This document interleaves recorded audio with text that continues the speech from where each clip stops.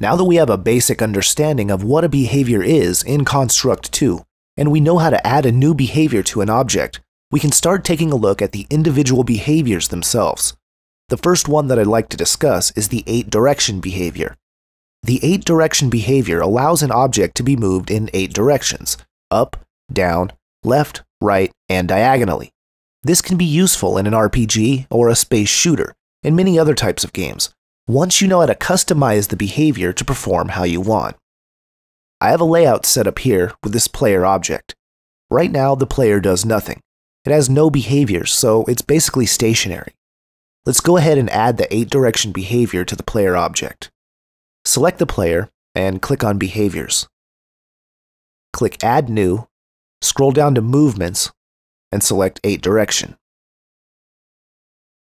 If I preview the layout, you can see how the 8 direction behavior affects the player object with the default settings. By default, the 8 direction behavior is controlled with the arrow keys. If I press the right arrow, the player starts moving to the right. If I press the up arrow, the player object rotates to face up and begins moving upward. If I press the left arrow, the player rotates and moves left. The down arrow, he rotates and travels down. If I hold the right arrow and the up arrow, he moves diagonally, and he can go in each direction diagonally. So by just adding the 8 direction behavior, we already have usable controls for our player object. Whatever object you apply the 8 direction behavior to can be moved around the screen using the arrow keys. By default, the object smoothly rotates around 360 degrees as you turn. We can alter the way this behavior affects the object by changing the parameters of the behavior. With the player object selected, you can see the parameters of the 8 direction behavior in the Behaviors tab. Let's go through each of them, starting from the bottom. The last parameter on this list is Initial State. Initial state determines whether the behavior is enabled or disabled at the start of the layout. It's set to enabled by default, but if I set it to disabled and I preview the layout, when I press the arrow keys, nothing happens because the 8 direction behavior is disabled. We'll go into events in depth in the future, but throughout the series, I'll show you some examples using events so that you can see the capabilities of Construct 2. If I switch to the event sheet, I can add a new event. I'll select System, and then on Start of Layout. So this event will occur when you start this layout. I'll add an action, so when the start of the layout occurs, we will wait for 2 seconds. Now, if I add another action after this one, wait for 2 seconds, it won't occur until 2 seconds has passed. The system will wait for 2 seconds and then continue on with the actions. At that point, I'll enable the 8 direction behavior. Now, if I preview the layout and I press the arrow keys, the player's stuck.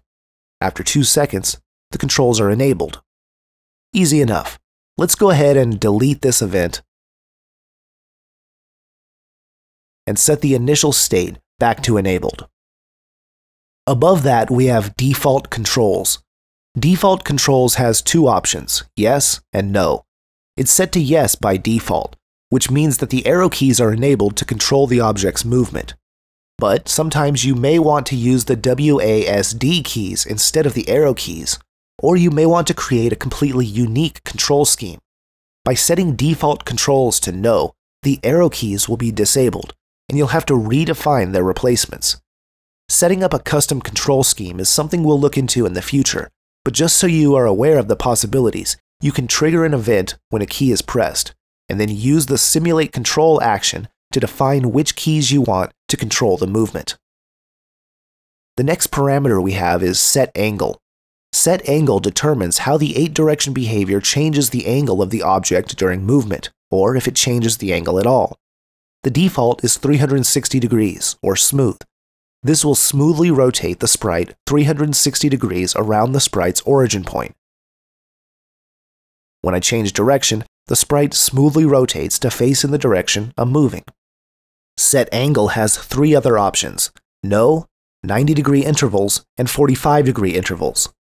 If you set set angle to no, then Construct won't change the angle of the sprite at all. So the player starts out facing forward, but if I move him up or even backwards, he still remains facing forward. This is similar to a space shooter where the player is facing forward at all times, but may move in all eight directions without changing angle. 90 degree intervals and 45 degree intervals are both very similar. When either of these are selected, when the player starts traveling in a new direction, the angle will be adjusted in either 45 degree increments or 90 degree increments. With it set to 90 degree intervals, we start out facing forward, but if I go up, the player rotates 90 degrees and faces directly up. It doesn't smoothly transition to the new angle like the 360 degree option. 45 degrees is similar, but if you select it, the player can actually face in all 8 directions. Just like with the 90 degree option, we can face right, up, left, and down. But now we can also face up right, up left, down left, and down right for our example here, I'm going to set set angle to no. The next parameter we have is directions. Directions determines which directions the behavior will allow the object to travel in. The default is 8 directions, meaning you can travel up, down, right, and left, as well as diagonally in any direction, up right, down right, down left, or up left. We can change it to up and down, left and right, or four direction. Up and down and left and right are easy enough to understand. Up and down limits the movement to just up and down, while left and right limits the movement to left and right. Four direction, however, can be used to limit direction to up, down, left, and right, restricting movement diagonally. The top three parameters work together to control the speed of movement we have max speed, acceleration, and deceleration. Each of these values are in pixels per second. Max speed is the highest speed in pixels per second that the object can travel in any direction. Currently, it's set to 200, which means that if I get this object moving as fast as it can go, it will be moving across the layout at 200 pixels per second. Acceleration is how fast the object speeds up in pixels per second when an arrow is held down. I'll set it to 50 for this example.